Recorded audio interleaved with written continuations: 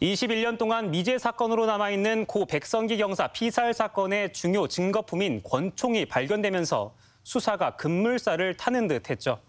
아, 그런데 한 달이 지나도록 용의자를 확정하지 못하고 있습니다.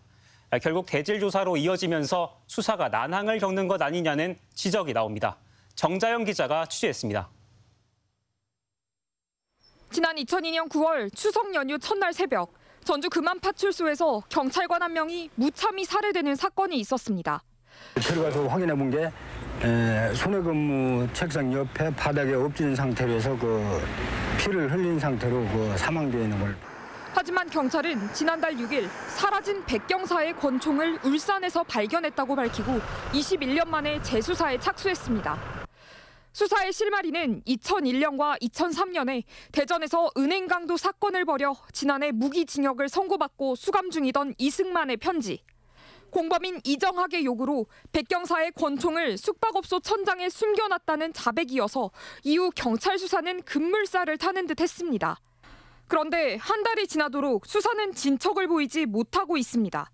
경찰이 비공식적으로 브리핑을 열고 이승만이 용의자로 지목한 이정학과의 대질 조사가 불가피하다고 밝힌 겁니다.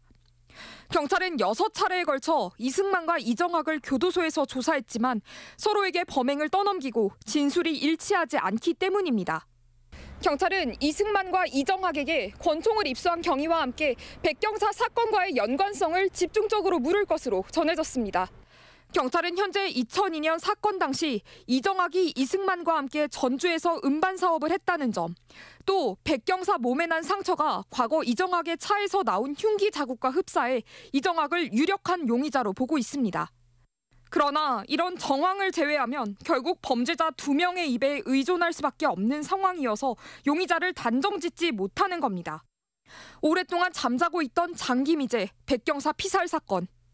21년 만에 총기가 발견된 뒤에도 별다른 진척이 없어 경찰의 수사가 난항에 빠졌다는 지적을 피하기 어려워 보입니다. MBC 뉴스 정자영입니다.